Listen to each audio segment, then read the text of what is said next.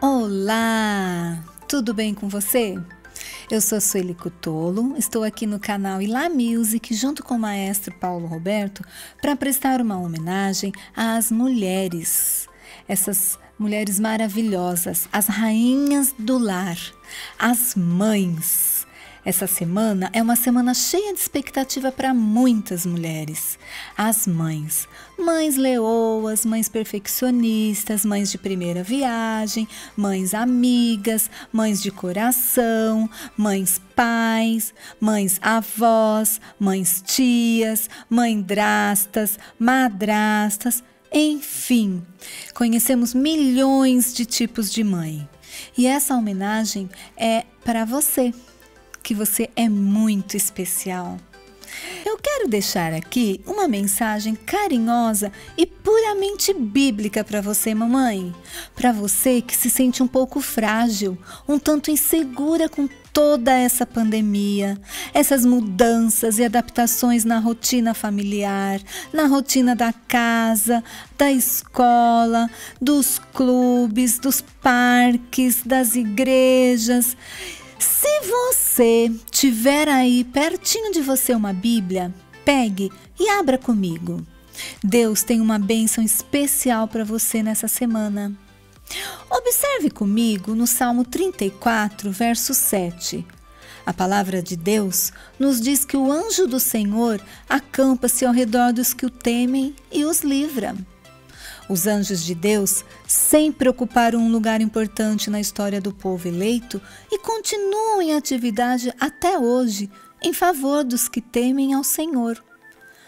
O profeta Daniel desfrutou de sua proteção na cova dos leões perante o rei Dario, dizendo: O meu Deus enviou seu anjo e fechou a boca dos leões, para que não me fizessem mal algum.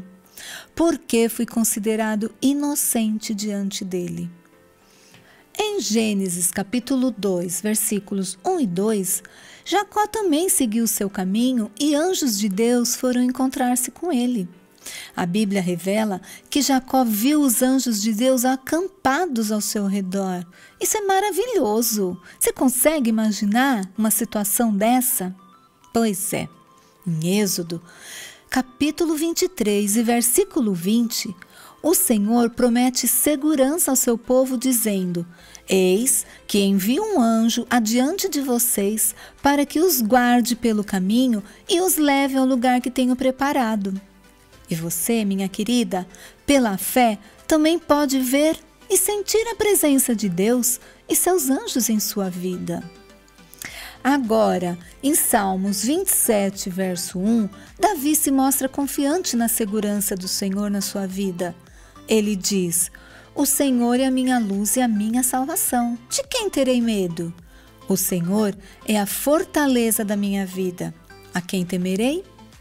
E, se não bastasse, em 1 Reis, capítulo 19, versículos 5 e 7, a Bíblia revela um anjo acampado ao redor de Elias, fortalecendo e alimentando o desanimado profeta, dizendo: Levanta-se e coma porque a viagem será longa. O mesmo Deus que esteve com Davi, Daniel e Elias continua hoje em nosso meio. Então, mamãe, não desanime, porque assim como no livro de Josué, capítulo 1, versículo 9, o Senhor garantiu a segurança para ele, ele diz a você: Não foi isso que eu te ordenei? Seja forte e corajosa? Não tenha medo, nem fique assustada, porque o Senhor, seu Deus, estará com você por onde quer que você andar. Basta confiar e se render totalmente ao nosso Criador. Feche seus olhos agora, ore comigo. Entregue seus anseios ao Senhor e confie em suas promessas. Amado Deus, eterno Pai, grande e maravilhoso Jesus, estou aqui, ó Deus, diante da tua presença, pedindo o seu amor, a sua bondade, a sua misericórdia. Deus amado, visita cada lar, visita cada mãe neste momento. O Senhor conhece em especial a cada um, o Senhor chama pelo nome. O Senhor conhece e, e, sabe de todas as coisas. Entra com providência, limpa o coração ferido, cura, Senhor, todas as feridas. Repreende toda tristeza, toda mágoa. Traz, Senhor, o consolo necessário nesse momento de dor, de aflição daquela mãe, Senhor, que perdeu seu filho, a sua filha. Deus, tenha compaixão, tenha misericórdia. O Senhor nos prometeste, o Senhor nos garantisse a vitória. Levanta, dá coragem, dá força, tira todo o desânimo, ó Pai amado. Cuida no dia de hoje, dá descanso Descansa o coração dessa mãe, afasta todos os medos e livra de todas as decepções. Dirija seus passos, instrua suas escolhas e a proteja de todo mal e guarde, livrando do malfeitor.